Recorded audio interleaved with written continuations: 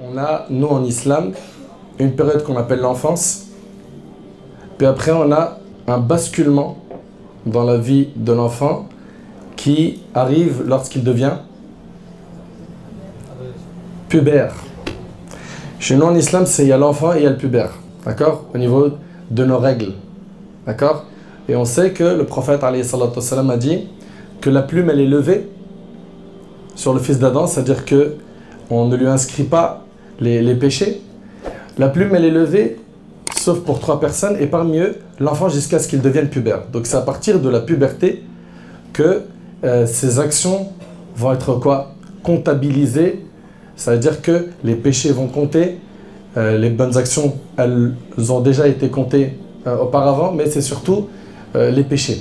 Il en sera donc responsable et au niveau des ahkam, les règles juridiques, il se doit à partir du moment où il est pubère d'accomplir la prière et le reste des obligations religieuses et s'écarter de ce qui est interdit. Mais euh, cet euh, enfant pubère, il y a une préparation, une préparation, une grande préparation qui doit se faire dans son éducation islamique pour que justement au moment de la puberté, il ait assez de base solide pour pouvoir tenir. Et euh, bien évidemment, on n'est pas en train de dire qu'on va former un infaillible, un ange, même si on a mis le paquet dans l'éducation, parce que tous les fils d'Adam sont des pécheurs, et surtout que ces jeunes-là, euh, moi j'aime bien les appeler euh, les jeunes, ok? Au lieu de dire les adolescents, on va plutôt dire les jeunes. C'est un gros potentiel, et ils sont vraiment de grands explorateurs à cet âge-là, dans cette zone-là, ok? La puberté en islam, comme vous le savez, elle se manifeste par euh, le, liquide donc, euh, spermatique, hein, les pollutions nocturnes, ou bien les menstrues pour les filles, ou bien euh, certains savants disent que si ces signes-là n'apparaissent pas, c'est à l'âge de 15 ans. D'autres disent 18 ans. Donc ça, c'est pour ce qui est des, des, signes de la puberté. Et le travail que tu vas fournir en amont, avant qu'il soit pubère, porte énormément ses fruits. Même si il va être secoué et on va voir qu'il y a pas mal de, pas mal de facteurs qui peuvent secouer l'éducation de, de nos jeunes. Mais là, on espère avec les invocations et les efforts et le fait que vous ne baissez pas les bras, il reviendra à quoi? À cette graine que tu as plantée. Cette graine ben cette bonne graine, même s'il a été un peu perturbé dans, dans son cheminement spirituel, il reviendra à sa base. Moi, ce sujet-là, je vais surtout l'aborder avec euh, du religieux. Donc si vous voulez parler de l'adolescence avec un spécialiste de, l'éducation, euh, un psy, etc., c'est pas moi. D'accord? Chacun a son domaine de compétences. Moi, ça va être surtout une approche où je vais essayer, avec l'aide d'Allah Ta'ala, de donner quelques clés euh, concernant ce que notre religion nous demande euh, de faire avec ces, jeunes. il y a énormément de points que j'ai envie d'aborder avec vous. Déjà, il y a une chose que j'aimerais qu'on se mette d'accord dessus, c'est qu'il n'est pas impossible d'avoir un jeune pubère droit dans ses bottes. D'accord? Je vais même aller plus loin. Il n'est pas impossible qu'on ait un jeune pubère, fait ou garçon, qui soit quoi? Euh, Qui soit porteur de grands projets. Qui soit un moteur. Qui soit quelqu'un même euh, qui se distingue, qui est marquant. Mais aujourd'hui, malheureusement, on dédouane beaucoup ces jeunes-là. On dit, ouais, il est ado, c'est pour ça qu'il vole. On les dédouane il, ment. Ah, si tu connais, hein, c'est l'âge. Hein. C'est vrai ou pas? Il fume. Ah, de toute façon, même moi, quand j'avais son âge, j'ai fumé. Et donc, on va les dédouaner, ce prétexte que quand ils sont jeunes, quand ils sont ados, eh ben, c'est obligatoire, c'est un passage obligatoire. Il doit passer par des chemins qui sont tordus. Non, c'est faux. C'est faux. C'est pas obligatoire. Ok? Il peut bien évidemment euh, y avoir des, erreurs, et ça, c'est tout le monde en fait. On va même dire que ouais, il y a des erreurs et, même des fois beaucoup d'erreurs, mais elles peuvent ne pas être très amplifiées. Ok? Des erreurs qu'on peut soigner, pas des, très grandes erreurs. Donc déjà venir à chaque fois dire et coller euh, à tout va, ouais, mais tu sais très bien, c'est l'âge, c'est l'adolescence, on est obligé de faire avec. À la fin, vous-même, vous allez produire un jeune qui s'est procuré un passeport qui s'appelle Je suis ado, je fais ce que je veux. Je suis ado, je fais ce que je veux. De toute façon, ma famille le dira, tout le monde autour de moi me défendra en disant, de toute façon, je suis ado. Donc lui-même, il va se cacher derrière ça.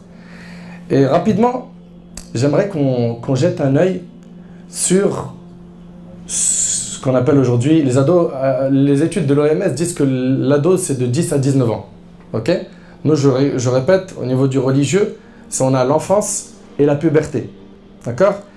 Et quand on regarde, ben, comme on dit aujourd'hui, ben, l'adolescent, ben, mais l'adolescent de l'époque, on s'aperçoit que dès leur plus jeune âge, ils ont fait des choses exceptionnelles. Le conquérant de l'Andalousie s'appelait Abdurrahman al-Dakhil, il avait 21 ans. Le conquérant de Constantinople, il s'appelait Mohammed al-Fatah, il avait 22 ans. Mais 22 ans, il s'est pas réveillé à l'âge de 22 ans pour être un grand homme avec un H majuscule. Il y a eu un travail qui a été fait en amont, n'est-ce pas? Le chef de l'armée des musulmans, alors qu'elle comptait des grands compagnons, dont Abu Bakr et Omar, ça a été Osama ibn Zayd dans une des batailles. 18 ans. 18 ans. Le conquérant du Sind, Mohammed al-Qasim, il avait 17 ans. Le premier à avoir décoché une flèche dans l'islam, c'était Saad ibn Abi Waqqas, il avait 17 ans. Celui qui a ouvert sa maison au prophète à la Mecque. C'était un jeune. Même le prophète et les compagnons se réunissaient pour parler d'Allah et pour apprendre la religion. Il s'appelait comment? Al-Arqam. Il avait quel âge? Il avait 16 ans. 16 ans. 16 ans, c'était quelqu'un de responsable. Az-Zubayr ibn al-Awam, radiallahu anhu, qui était l'apôtre du prophète, il avait 15 ans. Talha ibn Ubaidillah, le plus noble arabe dans l'islam, il avait 16 ans. Le maître de la tribu La plus forte des tribus parmi les arabes avant l'islam, il s'appelait Amr ibn Kalthoum, il avait 15 ans. Ceux qui ont euh, mis à terre le pharaon de notre communauté dans la bataille de Badr, c'est qui ce pharaon-là? On l'appelle Abu Jahl. C'est deux jeunes. Mu'adh ibn al-Jamouh, 13 ans, et Mu'awidh ibn Afra, 14 ans. Zayd ibn Thabit, 13 ans. C'était le scripteur de la révélation. Il faisait partie de ces rares personnes qui savaient lire et écrire. D'ailleurs, Abu Bakr, dans son califat, il va lui donner une grande mission qui est la, la compilation du Coran. Zayd ibn Thabit, il avait 13 ans. Et il a mémorisé l'hébreu en 17 jours. En 17 jours, il a appris l'hébreu. On voit en fait que nous, on les sous-estime. On infantilise trop nos jeunes. Ah, il n'est pas capable, mais. Ah, il est petit, il est jeune, il est petit. Comprends pas, il est petit. Jusqu'à ce qu'en fait, le potentiel qu'il a en lui, on l'éteint de nos propres mains. Alors qu'ils sont capables de mémoriser, d'apprendre, de se former dans plein de domaines. C'est des machines, ces jeunes-là. Mais ils sont mal exploités, malheureusement. Le prophète, lui a, lui a confié la responsabilité de la Mecque lorsqu'il sortit pour la bataille. C'était qui? C'était Attab ibn Usayd. Il avait 18 ans. Donc on voit ici quoi? Que ce qu'on appelle un ado à l'époque, c'était quelqu'un de responsable. C'était quelqu'un qui produisait. C'était quelqu'un qui faisait des choses énormes. Mais malheureusement, aujourd'hui, tu entends notre jeune, il a 25 ans et on l'appelle ado. Ado, comment ado? Quel ado? 25 ans, il a une moustache, il a la barbe, il a... Ado où? Mes chers frères et sœurs, euh, cette période-là, elle demande énormément, énormément, énormément, bien évidemment, de dua. Pourquoi? La réussite, elle vient d'Allah Et je sais que chacun d'entre nous ici, est très soucieux de l'éducation de son enfant. On a même des parents qui sont tellement euh, conservateurs, tellement protecteurs, qu'ils étouffent l'enfant. Ils l'étouffent, c'est-à-dire quoi? C'est-à-dire qu'il a le droit à rien. Et ça, ce point-là, on y reviendra un peu plus tard. Résultat, ils ont des enfants qui se rebellent et malheureusement, on en entend même des, hein, des histoires douloureuses, de la fugue, des, choses terribles. Donc il faut bien évidemment le dua. Ça, c'est nos recettes religieuses. Également, il faut quoi? Il faut que le, papa, la maman, fasse preuve de beaucoup de piété. Pourquoi? Parce que les ulama, ils disent que salahul aba lahu ta'thir fi tarbiyat al-abna. La piété des parents a un impact, un effet sur l'éducation des enfants. Plus le papa est pieux, plus il va se rapprocher d'Allah, les prières sont à l'heure, il fait attention à ce qu'il regarde, à ce qu'il écoute, il a une relation étroite avec le Coran, etc. Il évoque Allah, etc. etc. Et également la maman en fait, euh, de même. Plus l'enfant, ça lui sera profitable. Saïd ibn al-Musayyib, l'imam Ahmad, il dit qu'il fait partie des plus grands imams des tabi'i. Il dit Afdal tabi'in, c'est le meilleur tabi'i. Les tabi'in, vous savez que c'est la génération qui vient après les, compagnons. Et Saïd ibn al-Musayyib, il disait Je multiplie des prières surrogatoires dans l'intention que ça a un effet sur mes enfants. Que ça déteint sur lui. Donc ça, il ne faut pas se louper à hein, l'équipe. Nous, on a des, des, recettes religieuses qui sont négligées. L'invocation, surtout l'invocation de la maman, qui parfois nous appelle en nous disant « je craque ». Ou bien une maman qui vient me voir dans mon bureau en me disant « il vient de sortir du prison pour une affaire de drogue par lui ». Donc les invocations, les invocations sans se lasser. Et euh, la piété des parents. Et surtout, après cela, bah, faire preuve de, quoi de, sagesse, multiplier les efforts, en faire un souci majeur, l'éducation, se donner les moyens et établir des stratégies pour pouvoir éduquer nos enfants. Euh, nous, malheureusement, on voit le, jeune comme étant bah, un jeune qui, voilà, il a 12, 13 ans, 14, 15, 16, 17, 18. Aux yeux des parents, pour certains, il est toujours pour nous incapable, petit, zrir, ma ya'arafsh, ma il connaît pas, il comprend pas, etc. Ça, c'est une erreur. Donc, euh, cette euh, station-là de la puberté, elle est entre l'enfance et l'âge adulte. C'est une période où il y a quoi? Il y a énormément à investir sur, sur ces jeunes. Et notre religion, elle est complète. Dans le Coran et la Sunna du prophète, on a énormément d'enseignements qui euh, viennent nous éclairer sur comment est-ce qu'on doit aborder ces, ces jeunes. C'est une religion, comme vous le savez, qui touche à tous les aspects de la vie, l'islam. Et la religion a mis énormément le paquet sur quoi? Sur l'éducation. L'éducation des jeunes et des moins jeunes. Sur le fait de planter dans les cœurs une croyance ferme et solide. Sur le fait d'enseigner à autrui, en premier lieu nos personnes et nos, familles, nos proches, nos enfants, les bons comportements, des grandes valeurs, de, diriger leur potentiel vers ce qui est utile, car ce sont des boules d'énergie qu'il faut bien utiliser. La première des choses qu'il faut, nous, en tant que parents, faire envers eux, c'est surtout déjà d'affirmer leur identité musulmane par le fait de leur enseigner la croyance, al-aqidah. Ça, c'est hyper important. Ils se perdent en chemin. Ils oublient qu'être musulman, ça implique beaucoup de choses. Tu prends aujourd'hui une poignée de musulmans et dis-leur c'est quoi la croyance? C'est quoi l'islam? Tu vas t'apercevoir que, je parle ici des jeunes, que beaucoup d'entre eux, malheureusement, ils n'ont pas beaucoup de matière, beaucoup d'informations sur ce sujet. Et ça, c'est quelque chose de grave. Et ce taqsir, ce manquement, il vient en numéro un de qui? Des parents. Notre prophète, quand il est avec Abdullah ibn Abbas, qui est jeune, il lui donne de l'importance, il lui donne du temps. Lui qui avait énormément de responsabilités, lui qui était très occupé, il lui dit quoi? Il lui dit Dans la traduction littérale, ça donnerait préserve Allah et il te préservera. Mais on sait très bien que préserve Allah, ça ne se comprend pas. Comment tu peux préserver Allah? C'est tout simplement ce qui est voulu ici de ce texte, c'est préserve les commandements divins il te préservera. C'est-à-dire quoi? Tu as des lignes rouges qui sont uniquement pour ton bien. Tu as énormément de choses qui te sont autorisées et tu as des choses qui sont quoi? Interdites. Et vous remarquerez que les interdits, ils sont moins nombreux que les choses autorisées. Mais Shaitan, il va venir zoomer sur les interdits en disant Regarde, vu, dans ta religion, tu n'as pas le droit de faire ça, tu n'as pas le droit de faire ça, tu n'as pas le droit de t'épanouir, tu n'as pas le droit de parler de sexualité, de faire ceci, de cela, comme les autres. Et tous ces points-là, Inch'Allah, on va y revenir. Donc ici, on voit que le prophète, le prophète plante ces graines de la croyance dans le cœur de ce jeune, Abdullah ibn Abbas. Il lui dit quoi? Il lui dit Tu as une demande à faire Fais-la Allah. Place ta confiance en Allah. Demande à Allah.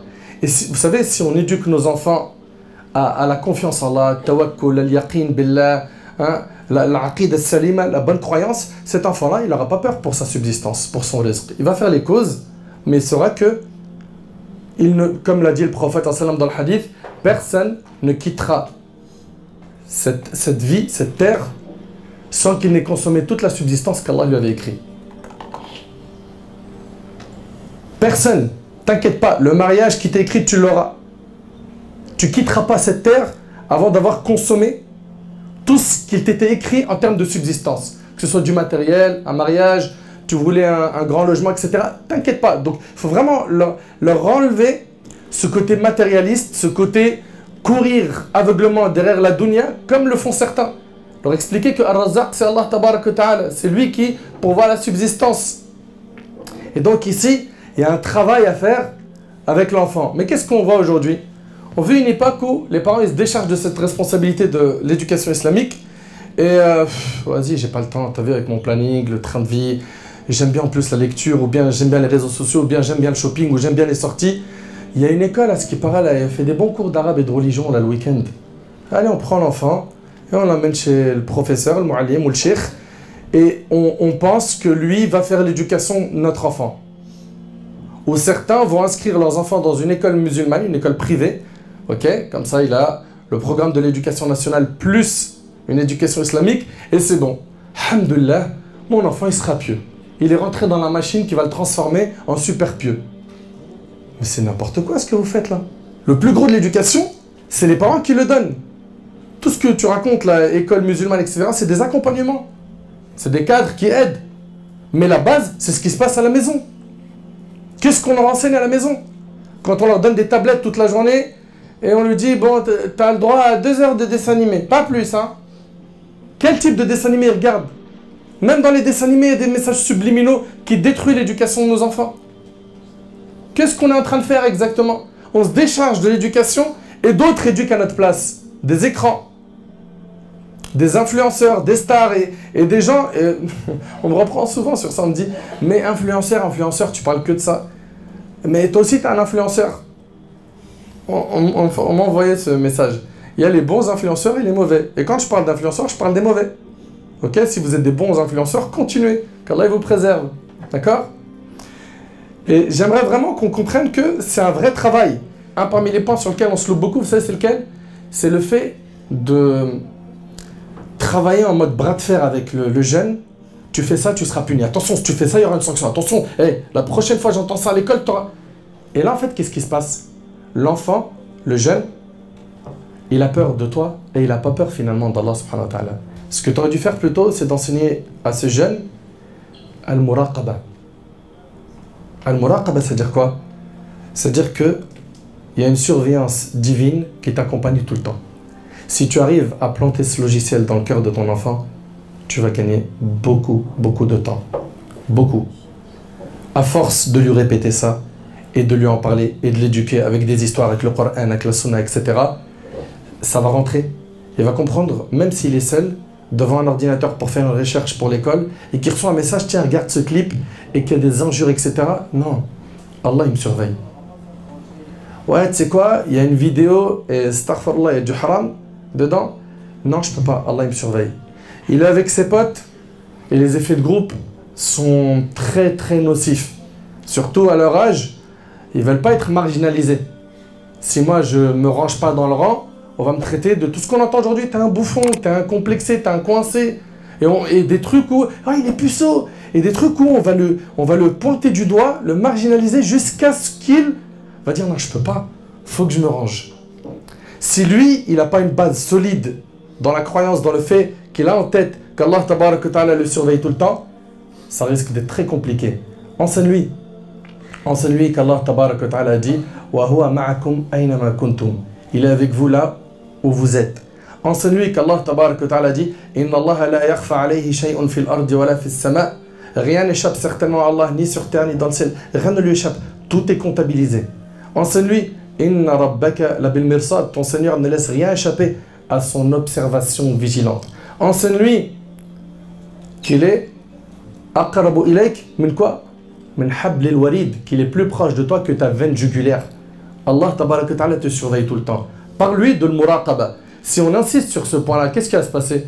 Ce jeune ou cette jeune, au moment où elle va être tentée, et c'est l'âge des pulsions. hein. Quand ils arrivent à la puberté, il y a un changement physique, il y a... Ça y est, et puis sans compter euh, les, différentes influences, bah, il y a le corps qui change, il y a des demandes, et là il faut canaliser tout cela intelligemment, en leur enseignant. Allah ta'ala nous voit. Allah subhanahu wa ta'ala il comptabilise tout ça. Ces personnes-là qui font des péchés en secret, et surtout euh, qui font euh, ce qu'on appelle al-israr ala dhanb, c'est ils persistent sur le péché, tôt tard malheureusement ils sont dévoilés. T'as envie d'être dévoilé, ma fille? Mon fils, t'as envie d'être dévoilé? Tu veux goûter déjà à, cette humiliation sur terre?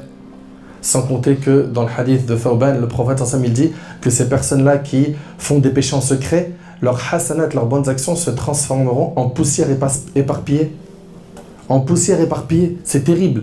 Donc il faut leur ouvrir les yeux sur tout ce monde. Leur apprendre que le prophète sallam, a dit dans le hadith. Crains Allah où que tu sois. Crains Allah, ça veut dire quoi? Mets entre toi et la colère d'Allah un mur. Fais ce qui t'est ordonné, écarte-toi de ce qui est interdit. C'est-à-dire que quand tu te retrouves à l'école, crains Allah. Quand tu es sur Internet, parce que tu en as réellement besoin, crains Allah.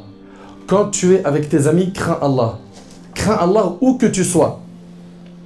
Également, ce, jeune que tu as devant toi, si tu veux le voir pieux, il faut que tu plantes, je répète, les graines tôt. C'est pour ça, regardez, même l'esprit des textes. Quand le prophète en il dit qu'on doit leur enseigner la prière à l'âge de 7 ans. Mais c'est pas anodin tout ça. Et qu'à 10 ans, ils, ont quoi? Des sanctions si jamais ils, ils ne prient toujours pas. Mais subhanallah, si le prophète il parle de cet âge, c'est que 7 ans, hein, bien évidemment ça commence pas à 7 ans, hein, mais 7 ans, la prière, la connexion hein, avec le spirituel doit prendre une, bonne tournure pour que au moment où il a 10 ans, ça y est. Vous allez me dire, oui, mais 10 ans, il n'est pas encore pubère. Oui, mais tu, tu crois que tu vas attendre qu'il soit pubère pour lui parler de salat? Ça risque d'être difficile. Je dis pas que c'est impossible dans tous les cas. Mais il y en a plein qui s'y prennent tellement tard que malheureusement, qui ramasse les pots cassés? Les imams. Ah, mon fils, euh, il est là toute la journée, il insulte, il frappe, il est méchant, il est violent, il me répond. J'ai eu des parents qui m'ont dit, il a une quinzaine d'années, il nous tape. Il tape le papa et la maman. La seule question que j'ai posée, c'est t'étais où avant?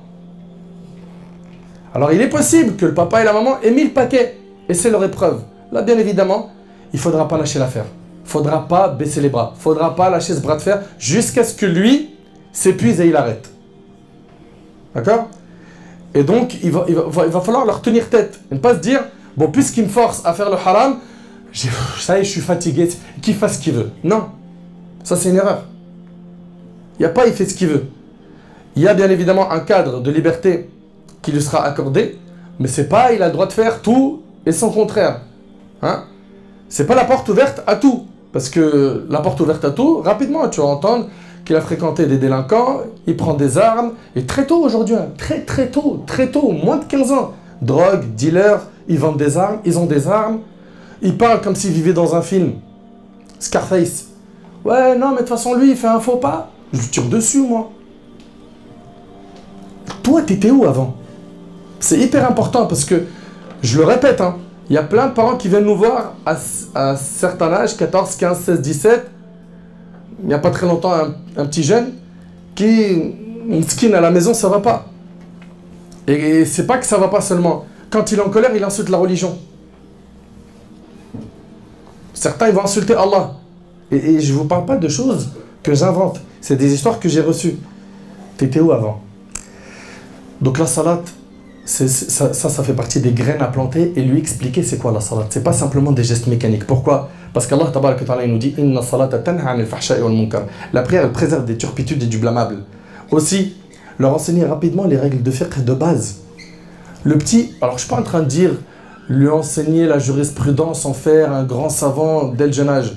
Celui qui veut faire ça, qu'il le fasse. Mais le, le petit jeune, subhanallah, il est, euh, il est à l'âge de 14-15 ans, il est pubère, il sait même pas faire le rousl. Il sait même pas faire les grandes ablutions. La première fois qu'il en entend parler dans une discussion, il dit quoi? Quoi? Vas-y, vas-y, dis comment ça se fait. Dis. Il a honte de dire qu'il sait pas. Ah ouais, bah exactement, ouais, bah c'est ça, ouais. c'est chaud. La petite jeune, elle connaît même pas les règles des menstrues. Qu'une fois que tu as fini tes règles, tu prends la douche et ceci et cela. Ces règles-là, il faut leur enseigner tôt, Allah comme tôt. Il faut qu'ils... Combien de jeunes, on, leur parle de venir faire la prière, dit je peux pas, je suis sale. C'est vrai ou pas? Ça veut dire quoi, t'es sale?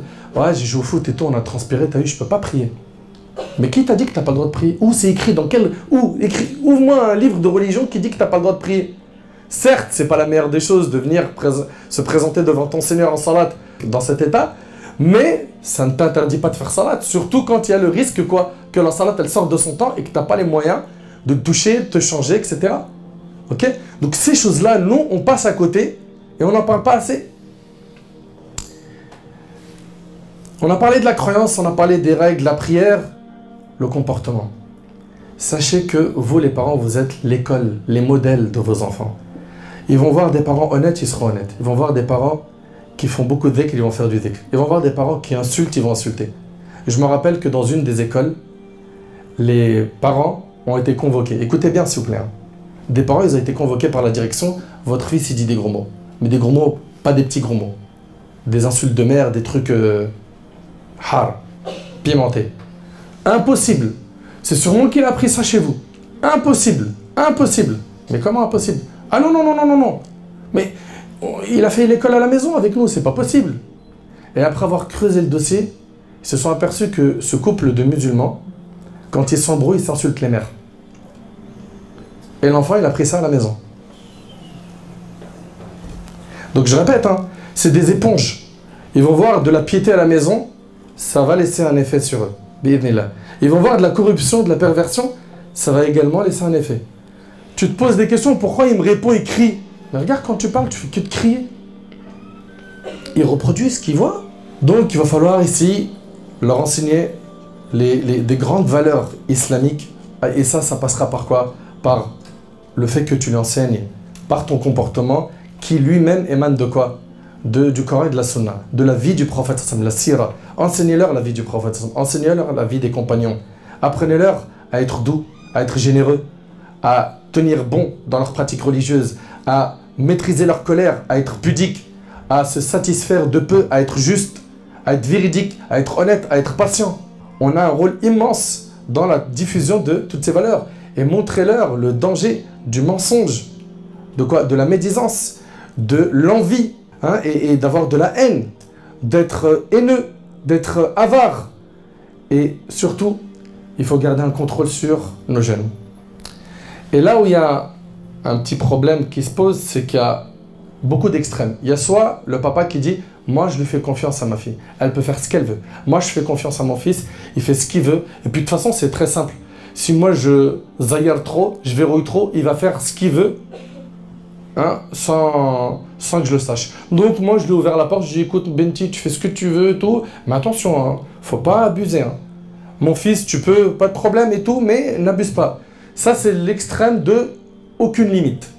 Et de l'autre côté, euh, Ami, est-ce que ton fils il peut descendre avec nous jouer un peu en bas? Il va jouer avec qui? Un tel, un tel, un tel Non. Alors que c'est des bonnes personnes. Est-ce qu'on peut le prendre pour aller manger un petit sandwich? Non. Est-ce qu'on peut le prendre pour? Non, non, non, non, non. Résultat, je l'ai vu de mes yeux, ce jeune dont je vous parle, à l'âge d'à peu près 15 ans, il a fugué. Il a dit Reviens à la maison, même avec. Reviens à la maison, même avec les, les problèmes que tu fais. Il a dit Non, c'est bon. En deux mois, tu as eu ta chance avec moi, laisse tomber. Donc on voit que verrouiller, fermer toutes les portes, c'est pas la solution. Et de lui dire fonce, tu es Dora l'exploratrice, explore le monde, c'est pas aussi la solution. Donc il faudra quoi? Il faudra un juste milieu, ok? Et un contrôle, un contrôle parental comme vous l'avez dans l'application là des smartphones. Un contrôle, il veut aller sur le net, pareil, il y a un contrôle, il y a un cadre. Tu vas sortir, pas de problème avec qui, tu rentres quand, tu seras là-bas, pourquoi? C'est votre droit. Et si là, on se loupe dans ces contrôles-là, et ces contrôles aussi doivent être avec sagesse et avec dialogue. Mais les trucs euh, trop secs, pareil, ça risque de les, de les briser. Notre bien-aimé, alayhi salatu salam, on sait que c'est le meilleur exemple qu'Allah ta'ala nous a envoyé. Allah ta'ala dit Vous avez en votre prophète un parfait exemple à suivre. Vous entendez? Un parfait exemple à suivre. Vous connaissez tous ce hadith, je vais vous le rappeler parce qu'il est riche en leçons.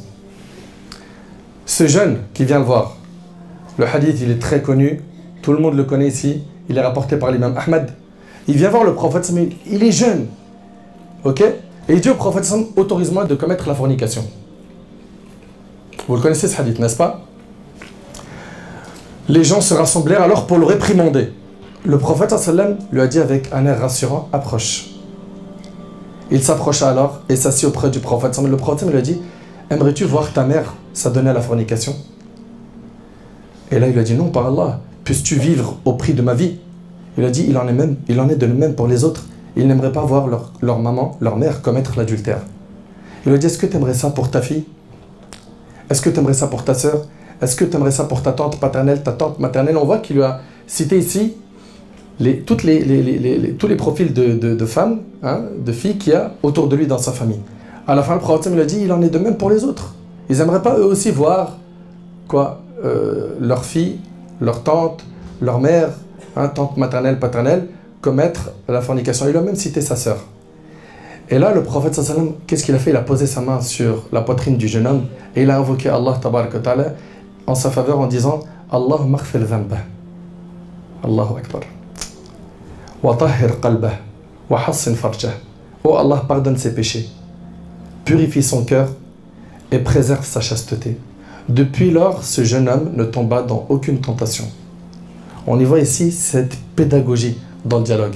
Et un conseil que j'ai donné à mes frères et à mes sœurs, je sais que beaucoup d'entre nous, on a été éduqués avec quoi? Avec une grosse barrière avec nos parents sur ces sujets de sexualité, de, de personnes du sexe opposé, de sentiments, d'amour, etc et que c'était la chouma, la honte d'en parler avec nos parents. C'est vrai ou pas? Aïb.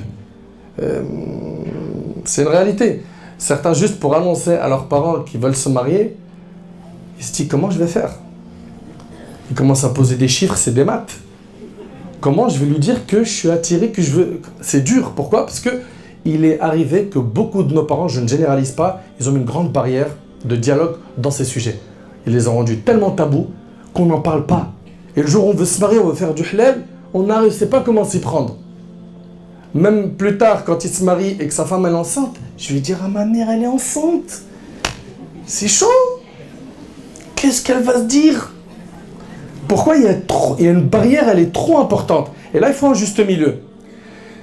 Et modestement, ce que j'ai à, vous, euh, à vous recommander sur ce point, c'est très tôt parler avec eux de ces sujets-là avec beaucoup de tact avec intelligence. Leur dire, dès qu'ils sont euh, des collégiens, même avant, ok?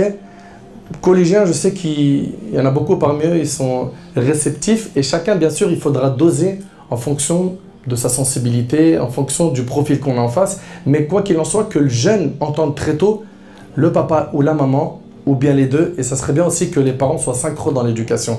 Quand il y en a un qui veut sanctionner l'enfant pour une bêtise, que l'autre ne vienne pas casser la sanction soyez synchro dans les décisions, c'est hyper important. Euh, ici, l'enfant, le jeune, très tôt, lui dire écoute, si un jour tu es amoureux ou amoureuse, sache que c'est quelque chose de normal.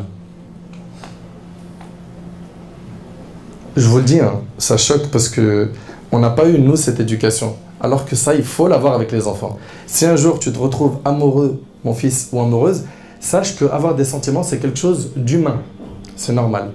Mais nous, notre religion, elle vient donner un cadre à ces sentiments et comment est-ce qu'on doit se comporter une fois qu'on les a eus. Ok? Nous, dans notre religion, ce qu'il y a quand il y a, quand il y a des sentiments, il y a une porte qui s'appelle le mariage. Ok? Et leur dire très tôt, le jour où tu as des sentiments et que tu es en âge de te marier, je vais t'accompagner. Mais si tu n'es pas encore en âge de te marier, comble ce temps que tu as, cette énergie, dans le fait de te former, dans le fait d'exceller dans tes études, dans la lecture, dans le fait de rester avec une bonne fréquentation. Et il faut lui donner des alternatives. Lui dire, hey, eh, fais gaffe, hein, eh, que je te vois indek. Tu fais ça, wallah. À la fin, qu'est-ce que tu crées? Tu crées un enfant qui est simplement, il a peur de toi, c'est tout. C'est tout, il n'a pas peur d'Allah. Et le jour où il va réussir à tromper ta vigilance, il va faire des folies. Donc c'est pour ça que ces sujets-là, tôt, on leur en parle. Et vous savez qu'est-ce que ça va donner comme effet positif, c'est que cette fille et ce garçon vont se dire ah, mais mon père, il est venu me parler de mariage, il m'a dit, tu sais quoi, si tu veux te marier, je t'accompagnerai dans cette démarche, je vais t'aider, je vais te conseiller, je t'aiderai, etc. Je, serai à côté de toi. Mais en fait, la porte, alhamdoulilah, elle est ouverte. Je sais que le jour où j'aurai besoin de mon papa ou de ma maman, je sais que le jour où j'aurai besoin d'eux, il y a une possibilité, il y a une facilité de dialoguer avec eux, c'est pas fermé. Leur temps libre. Et je m'adresse surtout à mes petits frères, les jeunes. Le prophète, il a dit profite de cinq choses avant cinq choses, et parmi elles, il a dit de ta jeunesse avant ta vieillesse. Profite de ce temps pour investir, t'enrichir dans quoi? Dans les compétences, les connaissances. Et même dans le divertissement, que ce soit toujours un cadre propre. Tu veux faire du sport, tu veux même jouer peut-être à la console, toutes ces choses-là, qui est un cadre, à chaque fois, mettez un cadre, Allah pour que justement l'enfant, il grandit épanoui, il, sort, il mange, il boit, il s'amuse, il s'éclate avec les, les, autres, mais il est toujours cadré. Le prophète, il nous dit également que les pieds d'un serviteur ne bougeront pas le jour de la résurrection tant qu'il n'a pas été interrogé sur quelque chose, parmi elles, sa vie, comment il l'a passé, et il y a une question sur sa jeunesse, comment il l'a passé. Sa jeunesse. Dis-toi que le jour du jugement, petit frère, petite sœur, tu seras questionné par Allah. Il va te demander qu'est-ce que tu as fait de ta jeunesse? Qu'est-ce que tu vas lui dire? Tu es prêt à lui dire que tu as fait telle et telle et telle désobéissance? Des fois, tu les as fait en public, des fois en secret. Est-ce que tu es prêt pour ce jour? Si ce n'est pas le cas, bah fais attention. Garde donc en tête que ce jour-là, tout sera, euh, tout passera au scanner. Hein. Celui qui fait un atome de bien, il le verra. Un atome de mal, il le verra. Ta fréquentation, petit frère, fais-y attention. Elle est brûlante parfois. Et je sais que euh, l'effet de groupe a un effet nocif, comme je l'ai dit tout à l'heure. La plupart de nos petits jeunes qui venaient de très bonnes familles, qui ont goûté leur première clope, c'est dû à quoi? Allez, vas-y, tire une latte. Hey, fume pas Moi, quand je suis énervé, une clope, ça me détend. Toi, tu fais comment quand t'es énervé? Un petit verre, c'est rien. C'est un événement. T'as pas dit tout le temps tu bois. On t'a dit juste là, fais-toi plaisir, c'est rien. Goûte T'es jamais sorti avec une fille? T'as jamais eu un copain? Ça existe. En fait, t'as pas un corps, toi, t'es es du bois, t'es du métal. Et eh, lui là, c'est un compagnon. Et c'est parti pour les vannes, les charriages, ou jusqu'à ce que s'il n'est il est pas solide, il faiblit, il craque, et la fréquentation le ramène dans ça. Mais petit frère, pourquoi tu restes avec eux dès le début? Pourquoi? Pourquoi avec des guetteurs, des dealers, des gens qui, mentent, des gens qui volent, des gens qui, mentent à leurs parents, des gens qui, incitent qu'au mal? Pourquoi? Pourquoi Pourquoi tu ne te préserves pas pour qu'Allah après te récompense par des grands cadeaux plus tard, la baraka, la bénédiction d'Allah. Le fait qu'il te facilite ta vie, que tu un foyer tôt, que tu Combien de jeunes ils se sont préservés? Leur vie elle est stable. À une vingtaine d'années, hop, début des 20 ans, il s'est retrouvé marié, propre, l'emploi, le job, le bon salaire. Et les autres là, qui avaient des mauvais parcours, il est au haps. Il est en prison. Ou bien il est en embrouille, il peut plus marcher dans tous les quartiers qui l'entourent, il est parti déménager. Il vit même plus en France. Ou bien il s'est mangé une balle le monde là du haram, il faut vraiment que tu sois dégoûté de ce monde, petit frère. Et toi aussi, ma petite soeur. Sois-en dégoûté parce qu'il a des conséquences amères que tu ne peux pas mesurer tout de suite. Fais-nous confiance, on sait de quoi on parle. Je me rappelle une fois, j'étais en voiture avec mon fils et il y a quelqu'un qui m'a arrêté et qui, euh, et qui m'a demandé de, de l'accompagner en voiture. Ouais. Il m'a demandé de l'accompagner en voiture et il avait beaucoup de sang sur son bras. Et c'est pas quelque chose euh, de rassurant. Et il m'a dit Ah, c'est Abuanas Ah, je regarde tes vidéos Et là, je me suis retrouvé un peu coincé. Je dis Si je lui dis non, il va se dire C'est ce fameux Abuanas là, il m'a laissé en plan. Donc j'ai pesé le pour et le contre, je l'ai fait monter derrière et son bras il était plein de sang. Je lui dis Tu t'es embrouillé? Il m'a dit Ouais, c'était coup de bouteille, je sais pas quoi. Je lui ai donné des mouchoirs. Je lui ai parlé après, je lui ai dit Tu sens très fort l'alcool. Je lui ai dit Mais Harry, ta vie, tu, la vois comme ça longtemps dans, le haram, dans le mal. Et il a commencé à fondre en larmes. Il m'a dit Fais-moi des doigts, s'il te plaît. Il m'a dit Je viens de sortir de prison, j'ai perdu ma femme, j'ai perdu mes enfants. Il a fait une peine de plus de 10 ans pour des trafics de haram. Là, il vient de sortir du habs. Il a à peu près 40 balais. Je lui dis Mais t'as brûlé ta vie. Je lui dis T'as un casier judiciaire, il est ma'amar. T'es encore dans l'alcool. T'as perdu ta femme et tes enfants. Je lui dis À quel moment tu vas ouvrir les yeux? Et subhanallah, Allah il a fait qu'on a discuté un peu ensemble, je l'ai déposé à la gare, et mon fils il était sous choc à côté. Sous choc. Mon fils il a 14 ans. Je lui ai dit, tu vois, Anas, malheureusement, tu vois la délinquance qu'on voit là, 13, 14 ans, etc. Lui, c'est la fin du film. lui, c'est la fin du film. Enfin, j'implore Allah subhanahu wa d'éduquer nos enfants. Et euh, parmi les erreurs, je vais en citer cinq pour terminer, Inch'Allah. Cinq grandes erreurs que commettent beaucoup de parents, c'est les ordres militaires à la place du dialogue. Eh, je t'ai dit, c'est comme ça, point barre. T'as compris? Dialogue. Fais le nécessaire pour lui expliquer. Ouais, mais j'ai répété trop de fois. Bah, essaye de voir si ta méthode, n'est pas, euh, pas finalement, elle pas pertinente. Ok? Et quand tu le vois faire une erreur, au lieu de lui dire t'as fait, t'as fait, t'as fait, dis-lui tiens, viens voir. Ce que t'as fait là, qu'est-ce que t'en penses?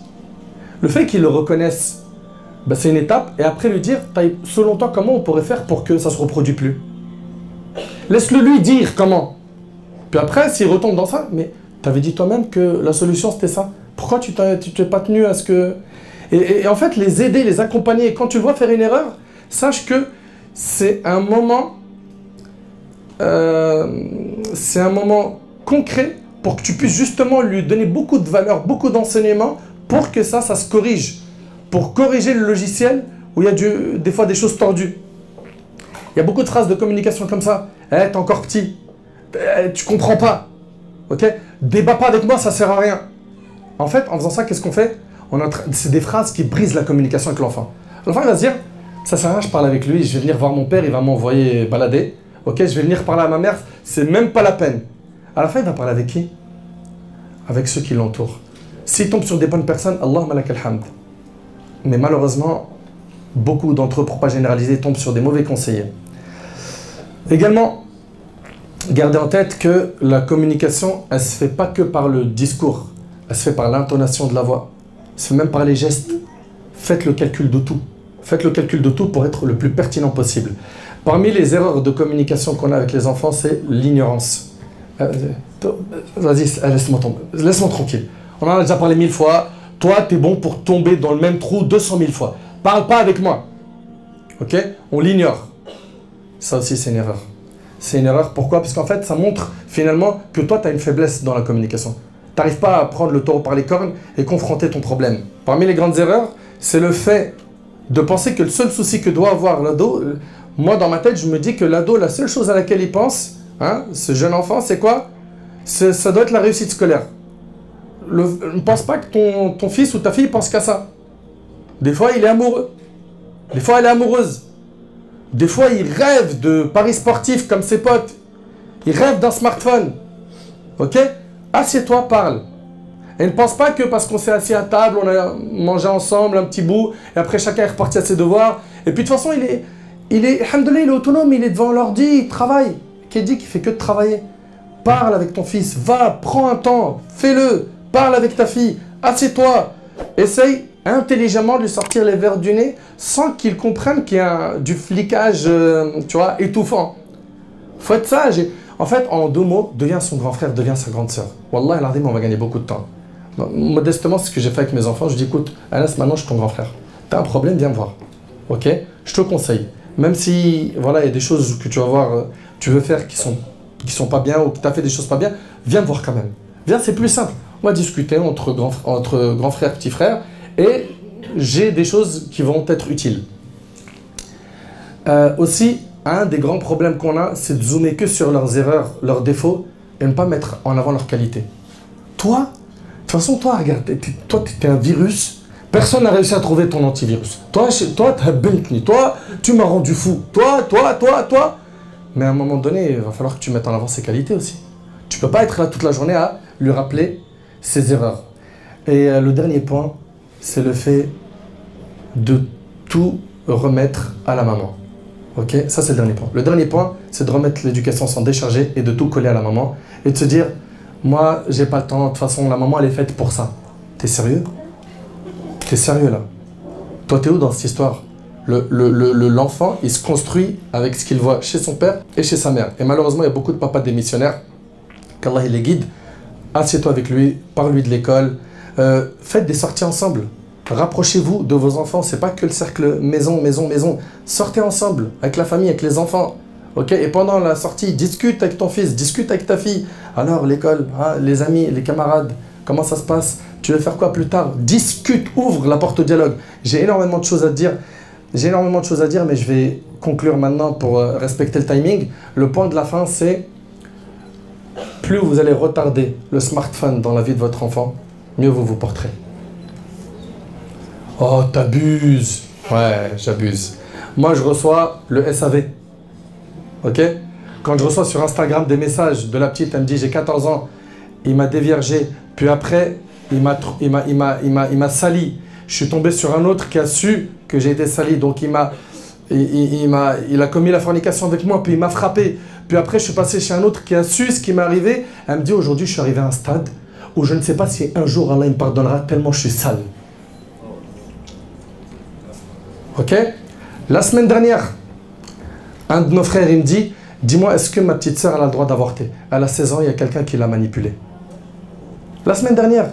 Mais vous, vous êtes où, vous, avant les 15-16 ans, avant les 14 ans? Vous êtes où, vous, en tant que parent Il est où le dialogue que vous instaurez avec eux? Elle est où la, la confiance que vous essayez d'instaurer avec eux? Que de la méfiance ou des ordres militaires? Vous croyez que ce format, il marche? Mais réveillez-vous. Il voit des choses à l'école, il voit des choses chez ses amis, il voit des choses sur Internet. Et pour le smartphone, je le répète, hein, pour moi, c'est mon opinion personnelle, vous pouvez l'acheter à la poubelle, ça ne me dérange absolument pas. Moi, je ne comprends pas pourquoi un enfant avant le lycée, avant même la fac, il a un smartphone. Un petit bigot là, 20 euros, c'est parfait. Bon, allez, mets un peu plus, 30, 40 euros pour qu'il ait une plus belle forme. ok. Parce que, bah, voilà, il y a même des jeunes, ils ont dit quoi à leurs parents? Ils leur dit, écoute, c'est simple, c'est soit le bigot, soit rien. Ils leur dit, bah rien. Ils dit, je vais aller à l'école, ils vont me hachem, ils ont des iPhone 13, ils ont des trucs de malade. Et moi, je vais avec ça, là, le truc de vendeur de shit, là, pour pas être tracé. Ça a pas la tête. J'en veux pas de ce téléphone. Franchement, trouve-lui après des alternatives. C'est-à-dire, tu vas fermer une porte, mais alternative. Fermer une porte, alternative. Fermer une porte, alternative. Comble son, son temps libre. Ce temps libre-là, si tu l'investis pas en l'orientant, en le conseillant, Shaitan, il va très, très, très bien s'en occuper. J'implore Allah, ta'ala, de guider nos jeunes et nos moins jeunes. J'implore Allah ta'ala, de nous aider face à, cette responsabilité qui est très grande. J'implore Allah ta'ala, de guider nos jeunes, d'en faire des pieux. J'implore Allah de nous faciliter cette tâche qui n'est pas facile. Je vais me contenter de ça. J'aurais pu dire beaucoup de choses, mais moi c'était surtout l'angle, l'axe religieux, bien qu'il n'y avait pas que du religieux. Si vous voulez parler de l'axe de l'éducation de cet âge avec euh, du non religieux, je n'en suis pas du tout un spécialiste. Il y a des spécialistes pour chaque domaine. Qu'Allah il nous enseigne la sagesse, qu'Allah nous facilite